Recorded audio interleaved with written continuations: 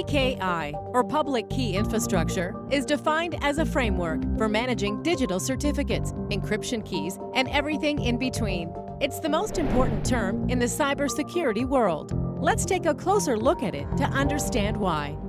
In this video, we'll take a look at the basics of public key cryptography, how it works, and the role digital certificates play in enabling PKI.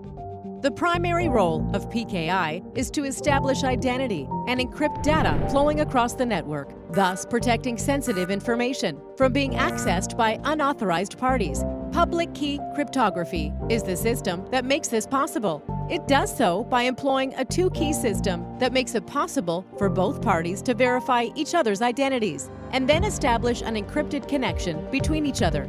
You'll understand this better with an example. Assume you're trying to connect to a website from your computer. What actually happens here is your browser attempts to establish a connection with the web server that hosts the website. However, your browser must first verify the authenticity of the web server to ensure that the website is truly what it claims to be. After all, you don't want to end up on an illegitimate copy of a website that could end up stealing your personal information. The authentication process relies on asymmetric encryption, which is where the two-key system comes into play. Any entity on the network which leverages encryption possesses a public key and a private key.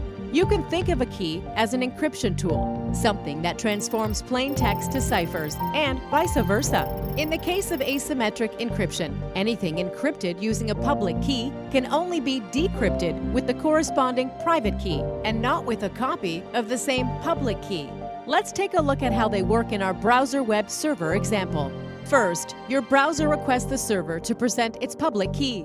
Public key information is accessible online and is not secret. The server complies by sending the browser a copy of its public key, and the browser uses it to encrypt a temporary session key, which it sends back to the server.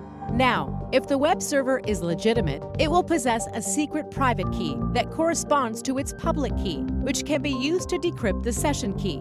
Once it informs the browser that it has succeeded in doing so, the browser takes it as a confirmation that it is legitimate and opens up an encrypted communication channel with it.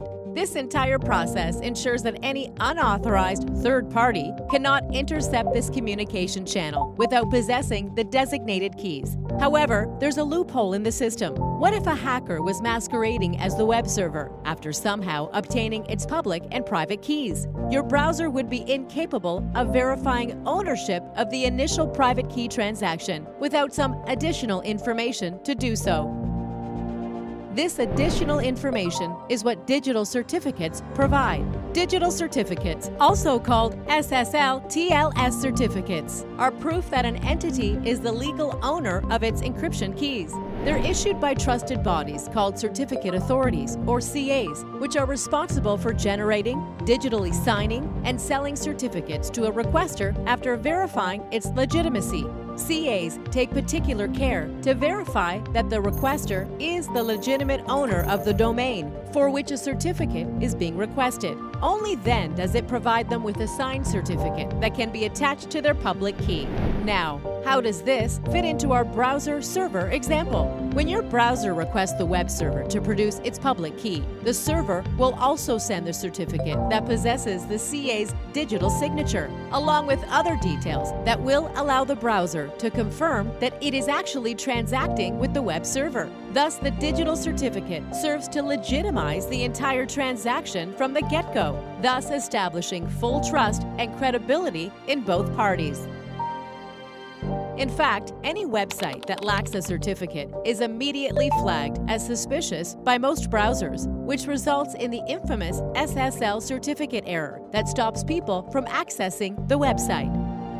To summarize, everything we discussed so far, from asymmetric encryption to keys to digital certificates, constitutes what is known as PKI. Did you find this video useful? Tell us what you'd like to learn about next in the comment section. Don't forget to subscribe to AppViewX for more videos